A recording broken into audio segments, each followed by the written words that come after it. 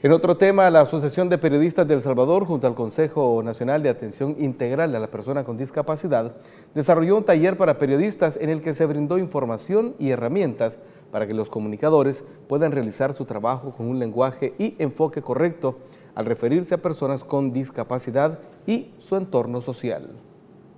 Ya no se puede seguir viendo con aquel enfoque caritativo que tradicionalmente se venía viendo, ¿verdad?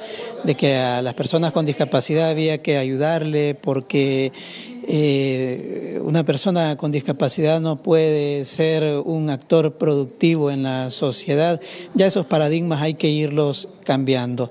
Y por ende la importancia de que eh, el gremio periodístico se forme en estos temas, porque con ciertas adecuaciones, incluso pues buscando las adaptaciones, uno puede ir eh, desenvolviéndose en los distintos campos productivos de la vida.